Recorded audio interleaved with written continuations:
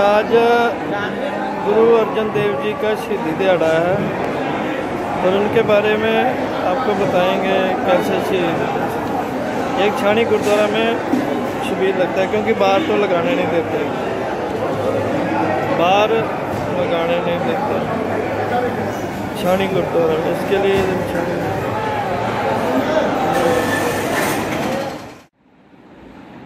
नमस्कार साथियों आपका ट्रांसपोर्ट लाइव इंडिया पे स्वागत है।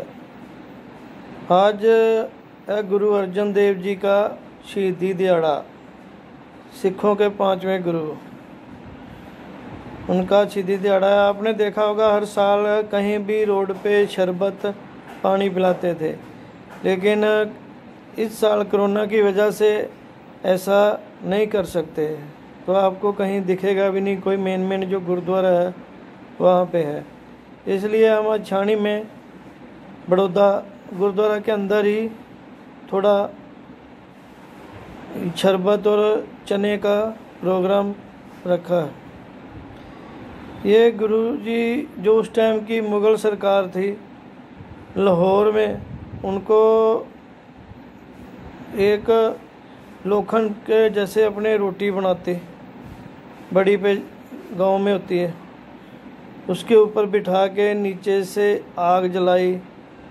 आपको फ़ोटो भी डालेंगे, आप देखना उसमें, और ऊपर से गर्म रेता।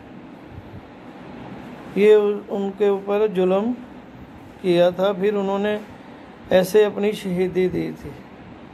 ये हिंदुस्तान की और सिख सिखों में पहली शहीदी थी, जो उस टाइम गुरु अर्जन देव जी ने दिया था। ठीक है, अगर ये वीडियो सही लगे तो शेयर करना, आपको थोड़ा छानी की, शरबत की वीडियो डालते हैं। ठीक है जी थैंक यू मेहरबानी।